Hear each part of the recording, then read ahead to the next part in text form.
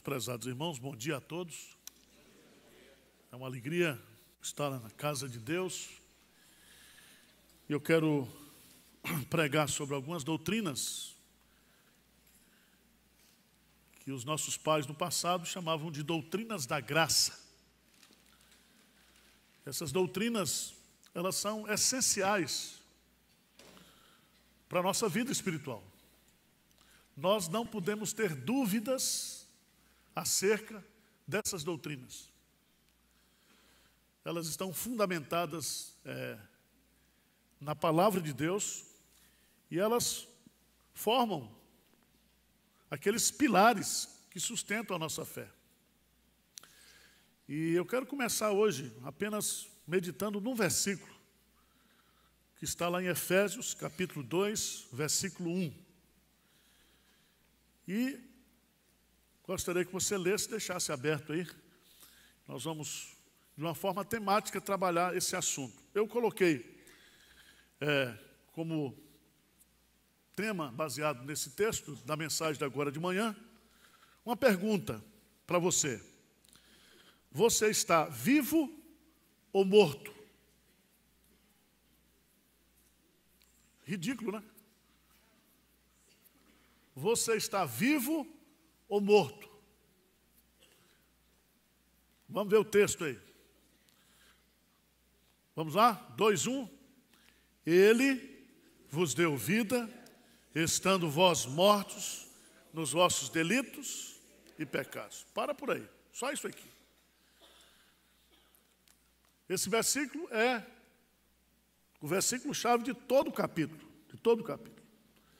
Nós temos uma frase em português, nós temos o sujeito, nós temos a ação do sujeito e nós temos aqueles que sofreram a ação do sujeito. Quem é o sujeito? Ele, Deus. O que, que ele fez? Ele vos deu vida. Para quem? Para aqueles que estavam mortos nos vossos delitos e, e pecados. Irmãos, esse, esse versículo só serve para a gente escrever um, um compêndio de teologia sistemática, porque ele resume todo o conceito de salvação. Você está vivo ou morto? Parece uma pergunta sem sentido, mas não é. Porque a Bíblia fala que existe dois tipos de vida e dois tipos de morte. Existe a vida física, essa que você a tem aqui, você está vivo aqui. Uma prova disso é que a gente aprende na biologia que a vida física ela tem cinco quê? Sentidos. Não é isso? Visão, audição, paladar, tato e cheiro. Se você perder essas, esses cinco sentidos, você morreu. Então, faz um teste aí. Se você tiver com esses cinco sentidos, você está vivo biologicamente. Mas a Bíblia fala de vida espiritual. Calma. né? Ele vos deu vida, estando vós mortos nos vossos delitos e pecados. Que vida é essa? Vida eterna. Isso significa que uma pessoa ela pode ter a vida física e ela pode não ter o quê? A vida espiritual. Esse termo aqui, que é usado como se fosse uma ressurreição de um defunto, é o conceito que Paulo está passando do que é salvação. Salvação. Se você aprender isso, você vai parar de ficar discutindo esse negócio de arminianismo, calvinismo, não sei o quê. Se você é arminiano, se você é calvinista, se você é isso, se é aquilo, porque o texto é muito claro. Esse texto eu dividi aqui em três partes, para não dizer, para a gente compreendê-lo. Primeiro, nós temos o sujeito, que é Deus. Ele é que dá a salvação. E uma coisa que tem que ficar bem resolvida na sua cabeça é que se Deus ele não tomasse a iniciativa para nos salvar, nós jamais seríamos o quê? Salvos. Jesus resume bem a sua missão, porque o Filho do homem veio buscar e salvar o que havia o quê? Perdido. Então não existe salvação do homem para Deus, só existe salvação de Deus para o homem. Por isso que religião não salva, por isso que religiosidade não salva, por isso que as boas obras não salvam. E aqui você tem que entender. Esse texto nos ensina que Deus, ele é o sujeito da salvação. É ele quem toma a iniciativa. E ao tomar a iniciativa, ele revela o seu caráter soberano. Ele é livre para agir por causa da sua soberania. Preste atenção, irmãos. O Salmo 115 diz: Onde está o Deus de vocês? Aí o salmista responde: No céu está o nosso Deus, e tudo faz como lhe agrada. Lhe agrada.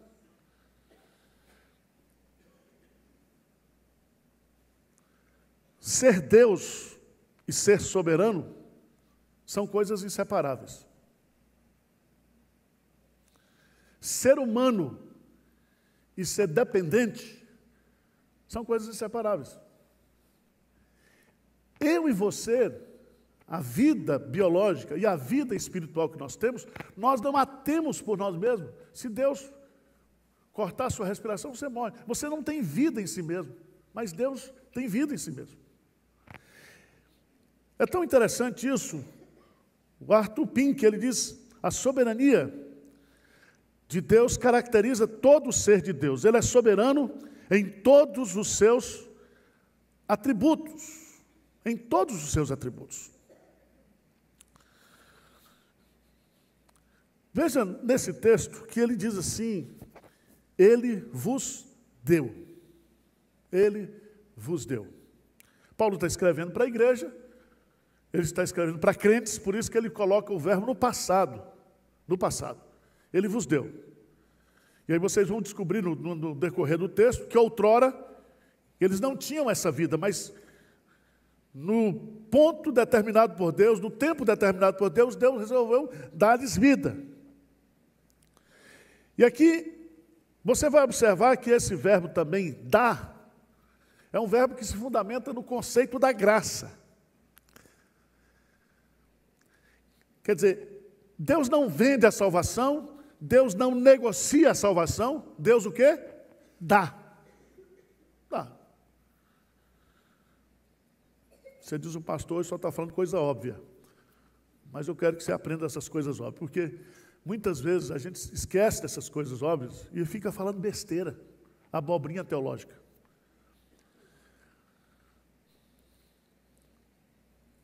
Ele dá porque só Ele pode dar.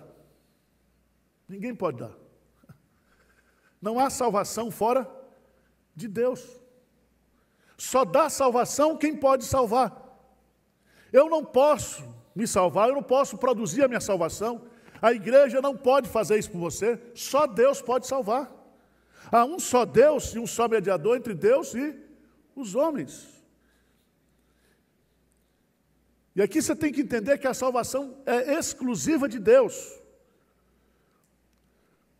Ele dá porque só Ele tem para dar. Ele dá porque Ele quer dar. Ele dá a quem Ele quiser. A quem Ele quiser. E aqui vem essa discussão sobre a doutrina da eleição, e Ele vai dar para os eleitos dele. E você precisa entender isso que Deus, na sua soberania, Ele escolhe quem quer, Ele salva quem quer e Ele dá a quem Ele quer. Se você acha que há injustiça da parte de Deus, você tem que entrar depois no Supremo Tribunal Celestial, não daqui, do céu. Com habeas corpus para você sair do inferno, para ver se você consegue. né? Ele dá por intermédio de quem ele quiser. E ele escolheu dar a vida através do seu filho. Preste atenção, não existe a possibilidade de eu receber a salvação, essa vida que vem de Deus, por outro caminho que não seja exclusivamente pelo sacrifício de Jesus Cristo. Por isso, as pessoas, por exemplo, que estão envolvidas com testemunha de Jeová, com o espiritismo. Pessoas que estão envolvidas com seitas heréticas, cuja salvação, a doutrina da salvação, ela não está centralizada em Cristo, essas pessoas jamais receberão a salvação de Deus. Vamos ver se você tem dificuldade de entender o que está lá em 1 João. A simplicidade do Evangelho é muito grande. 1 João, capítulo 5, versículo 11.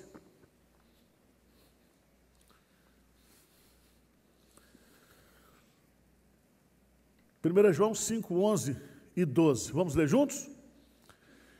E o testemunho é este: que Deus nos deu a vida eterna. E esta vida está no seu Filho. Aquele que tem o Filho tem a vida. Aquele que não tem o Filho de Deus.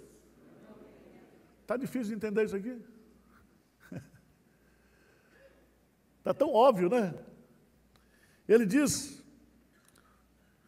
que Deus nos deu a vida eterna e esta vida está no seu Filho.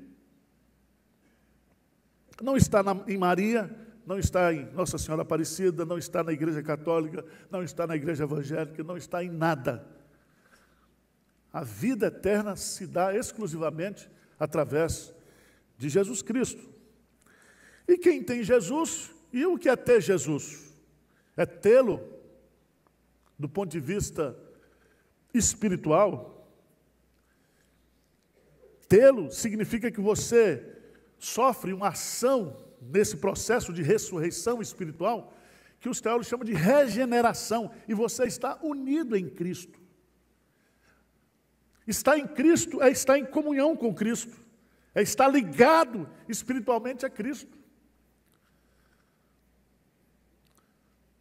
Por isso, você tem que entender que Cristo é tudo para nós. Aqueles que estão em Cristo devem permanecer em Cristo, devem continuar em Cristo. E essa expressão em Cristo, Paulo a usa mais de 200 vezes nas suas cartas, para mostrar que o grande segredo espiritual é estar em Cristo. Está em Cristo. Mas voltamos lá para Efésios. E aí você vai entender: Ele vos deu vida, estando vós mortos nos vossos delitos pecados. Ele vos deu vida. Ele. A pergunta que eu faço é o seguinte: se Ele nos deu a vida, Ele vai nos matar depois? Vai nos tirar essa vida? O que, que vocês acham? Se Ele deu a salvação para você, se Ele ressuscitou você, ele depois vai sufocar você e vai matá-lo? Então você não pode perder a sua salvação. Você é um crente sem vergonha, como eu sou. A gente peca, a gente se afasta, a gente passa por crise. Mas a segurança da nossa salvação não está em nós. A nossa segurança está em Deus.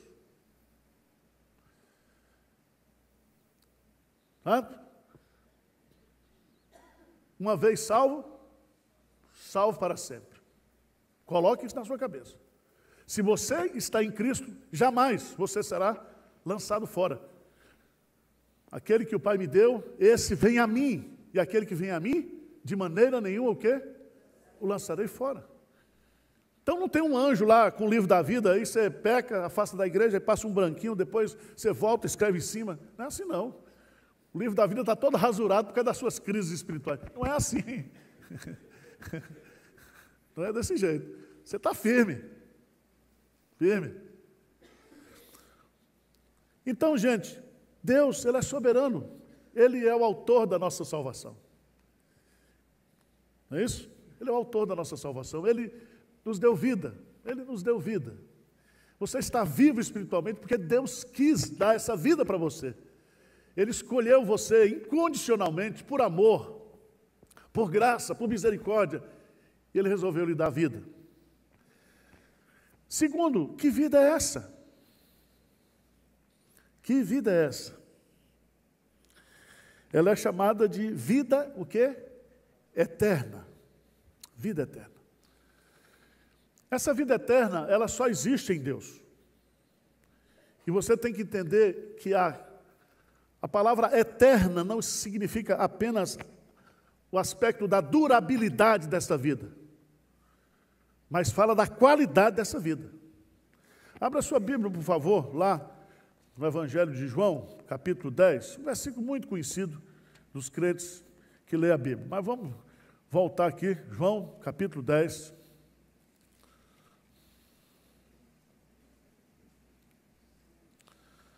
Versículo 10.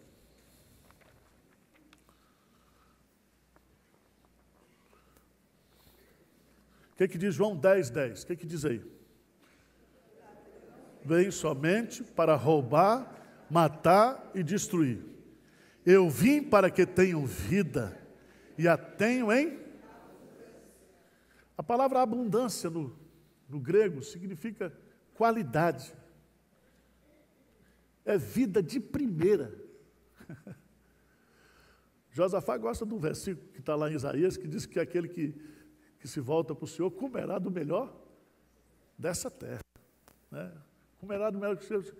Ele quer nos tratar. A partir do momento que nós é, recebemos essa vida de Deus, essa vida é vida de príncipe, como diz o pastor Hernandes, é vida de filho, filho do rei, é vida de qualidade. Quando ele,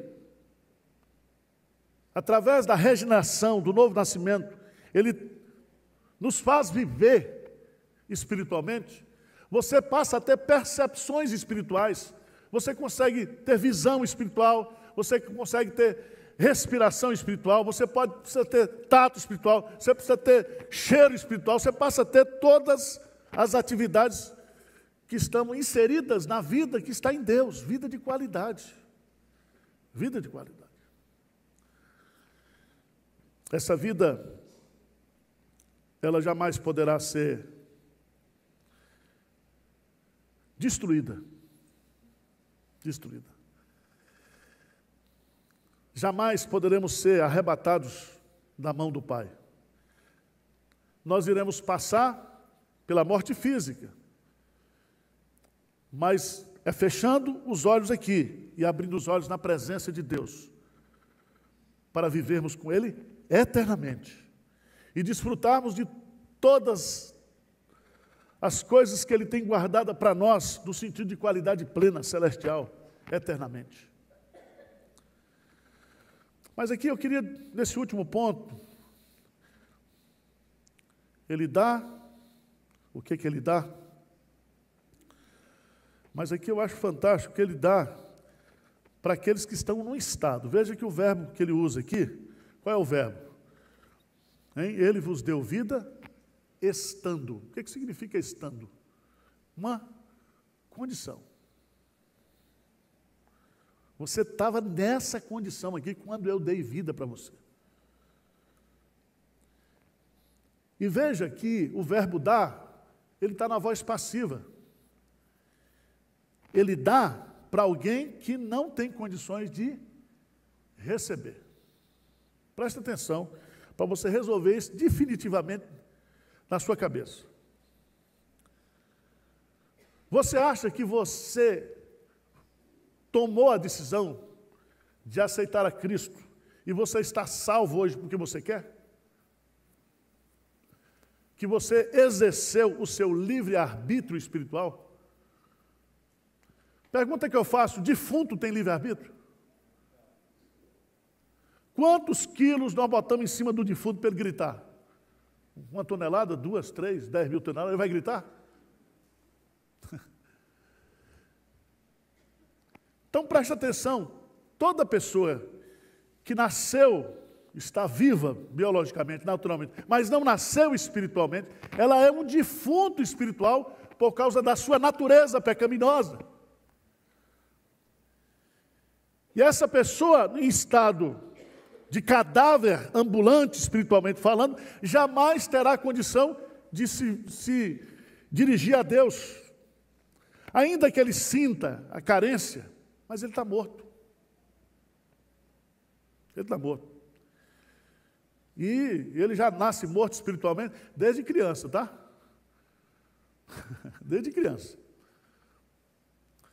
E eu gosto de falar isso porque tem gente que é contra culto infantil, contra acampamento infantil, e tem muita criança que Deus converte quando? Na infância. João Batista já era convertido dentro da barriga da mãe, já era cheio do Espírito Santo, não aceitou a Cristo, porque a salvação não depende de quem? De nós, depende dele. Então, essa besteira de ficar discutindo, ah, foi eu que aceitei, vocês precisam entender que Deus, eu aceito Deus quando eu quero, eu. Né? Tem muita gente que frequenta a igreja aqui que, que ele acha o seguinte: que no dia que ele quiser, ele, ele aceita Deus e está resolvido o problema. Não é assim, não, meu filho. A misericórdia de Deus não depende de quem quer, mas de quem ele quiser ter misericórdia. Então, bota a boca no pó aí, baixa a sua bola e diz: Senhor, filho de Davi, tem misericórdia de mim. Não me deixe, Senhor, partir para a eternidade sem estar em Cristo, sem receber essa vida. Jesus disse para Nicodemos, o grande teólogo, se você não nascer de novo, você não pode o quê? Entrar no reino de Deus. E Jesus coloca claramente ali, para aquele teólogo, comparando o Espírito Santo, o agir do Espírito, porque quem vai produzir a vida, o agente vivificante é o Espírito. E ele é comparado ao vento. E ele sopra onde quer, e nós não sabemos de onde ele vem, nem para onde ele vai. vai. Às vezes, a gente fica muito empolgado com pregar em lugares é, importantes, assim, com muita gente, outra coisa. E eu estava conversando essa semana com alguém que disse: Olha, às vezes aquele sermão que você prega lá numa, numa, numa congregaçãozinha na casa do irmão, um culto que você fez lá naquela parambeira, dia de chuva. E Deus naquele dia está salvando ali um Spurgeon, um João Wesley. É porque Deus, ele age assim. Ele age assim. Não depende de quem quer, mas depende dele. Por isso que eu e você precisamos ter compreensão dessa doutrina da salvação e entender a condição do homem pecador.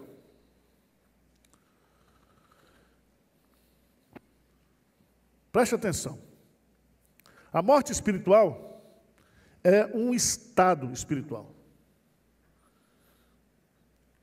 Estado espiritual. Só pode receber vida ele vos deu vida porque você estava o quê? Morto. Segundo, a morte espiritual torna você e eu inábeis para resolver a nossa situação.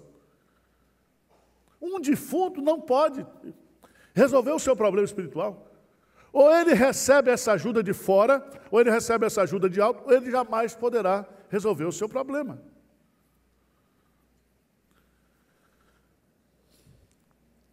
Terceiro, a morte espiritual é um estado reversível. Ele vos deu vida, estando vós mortos nos vossos delitos e pecados. Significa a esperança para quem está morto espiritualmente, porque Deus está dando vida. E através da pregação do Evangelho, através da obra de Cristo, através da ação do Espírito Santo, vidas que estão mortas espiritualmente podem ser ressuscitadas. Quarto lugar, a morte espiritual é uma condição muito perigosa e arriscada. Muito perigosa. Porque você pode, que você não sabe, morrer a qualquer instante.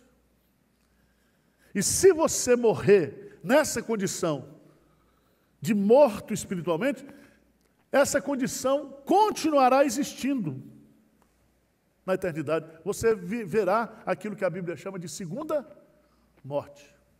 Segunda morte, a morte eterna, a eterna separação de Deus. Assim como eu e você, que recebemos a graça de Deus, a vida eterna, nós começamos a desfrutar da vida eterna aqui. Essa vida, então, ela só tende a crescer, só tende a crescer, só tende a melhorar. E a morte espiritual só tende a piorar. Provérbios diz que aquele que anda na luz é como um dia, é como a noite, que vai amanhecendo até ser dia o quê? Perfeito. Paulo fala que agora nós conhecemos como por espelho, como por enigma. Mas um dia nós conheceremos como também somos o quê? Conhecido. Um dia. Ou seja, a nossa condição, irmãos, é sempre de crescimento, de melhora. A condição de quem está morto espiritual, se ele não receber de Deus a vida espiritual, é muito perigosa, é muito arriscada.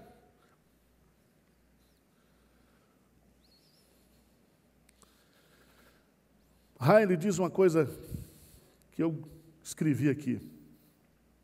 Eu vou terminar com essa frase dele. Ele diz assim: tenho uma convicção igualmente firme de que uma visão baixa, imperfeita do pecado é a origem da maioria dos erros, heresias e falsas doutrinas dos dias atuais. Preste atenção. Se um homem não percebe a extensão e a natureza perigosa da doença de sua alma, não pode se perguntar se está contente com remédios falsos ou imperfeitos. E aí ele conclui o seu pensamento dizendo: creio que uma das principais necessidades da igreja é o ensino mais claro e completo sobre o pecado. O pecado é a pior doença que existe em nós. Mas a graça nos cura. O sangue de Jesus Cristo nos cura e nos purifica de todo pecado. Então eu queria terminar essa mensagem perguntando para você: você está vivo ou morto? Você diz, pastor, estou vivíssimo. Estou tomando testosterona. Estou é? vivo. Fisicamente você está vivo. Espiritualmente você está vivo? Você está ligado a Cristo? Você tem comunhão com Cristo? Quais são os sinais de vitalidade espiritual na sua vida? Você tem alimentado essa comunhão com Jesus? Você tem buscado uma vida de santidade, de santificação? Você tem esquecido das coisas que para trás ficam? e você está prosseguindo para o alvo que Deus tem para a sua vida, que é fazer de você a imagem e a semelhança de Jesus? Você fica triste quando peca? Você está insatisfeito com sua vida espiritual?